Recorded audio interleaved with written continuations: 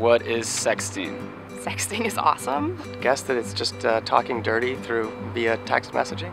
You're involved with someone, or maybe even not so much. They would like to change things and make that happen. Sexting could obviously be pictures that are explicit or written words that are explicit. I don't think so. I don't think we ever sexed.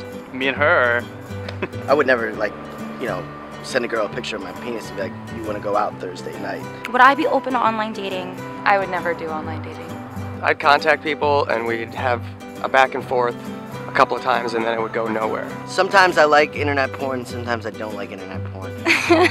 Porn is awesome. Yes, I like porn on the internet. When I talk about porn, I get like political. I've never seen any porn. No comments. No. It's egalitarian. It's like everyone can be as filthy as they want to be on the internet. I filmed myself having sex because, I mean, to be quite honest, I was curious. I love the internet. I love porn.